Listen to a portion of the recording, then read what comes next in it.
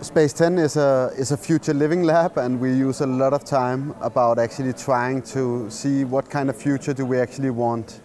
I don't think the future is about predicting it, I think it's about shaping it. And what kind of future do we desire to live in? And I think what, how the world is changing right now is crazy.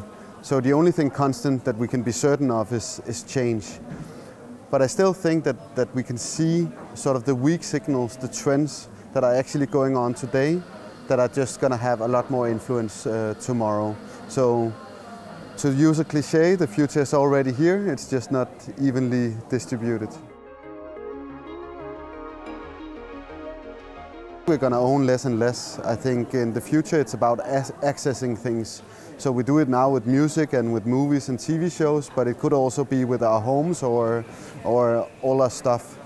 So imagine just paying one lease and then you have access to apartments all across the world. You have complete flexibility in order to move around where you please. If you want to take a weekend on the countryside, you do that. If you need to study abroad for a year, you access that. So looking at how can we share more things but still keep our private space, which is fundamental uh, for all of us. We need it. Uh, but it's about maybe rethinking how our entire infrastructure works. It's tough to answer whether open source can be, I think it's like with any other tools, that uh, it can be, when things are open, we cannot control them. Um, but then interesting things are happening in terms of, of blockchain, uh, where we can then actually integrate these things. And I think that is what we're going to do as a human race. We're constantly going to find solutions to the new problems that occur. So when self-driving cars are entering the market, for example, we're going to see that we're not going to have enough organs for people who need it because we don't have that many car accidents. Uh, so that means we're going to lack a lot of organs so maybe we're going to start to 3D print uh, human tissue and actually print organs.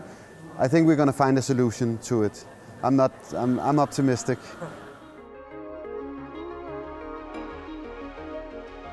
Seriously, I think we are an incredible room of people, people who are creative, people who are designers, people who are architects in a lot of creative fields.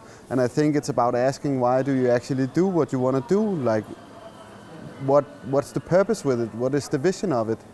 And we, have, we are more empowered than, than ever before.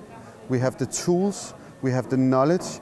Like any teenager on YouTube can teach you something new that you don't know if, if you want to learn something new. I mean, it's an incredible time.